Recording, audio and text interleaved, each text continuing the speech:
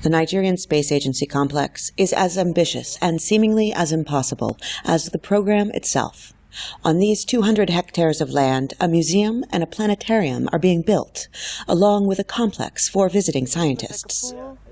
But not all of these projects are funded, and very little construction appears to be going on.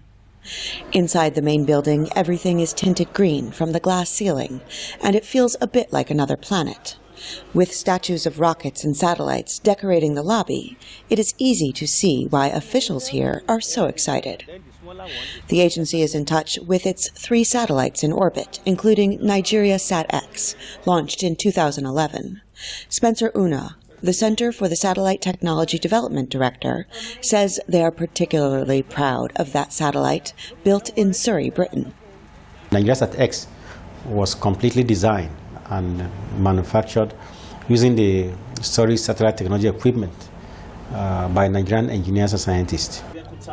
But in a country plagued by abject poverty, some Nigerians question if space travel is a luxury they can afford. Yes, says National Space Research and Development Agency spokesperson Felix Ale. He argues satellite imagery is key for national development. The Earth observation satellites, you know, have uh, you know, really assisted in a lot of application areas. So it has uh, been used, you know, in the area of uh, disaster monitoring, you know, in the area of agriculture. Nigeria has another goal to send an astronaut into space by 2015.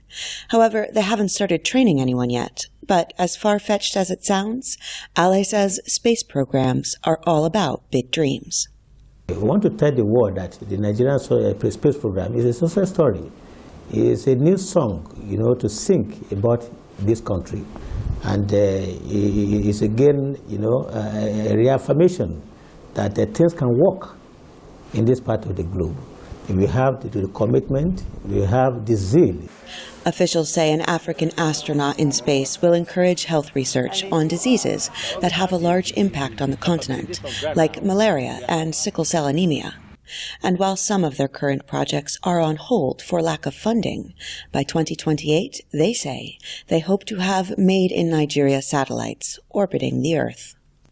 Heather Murdock for VOA News, Abuja.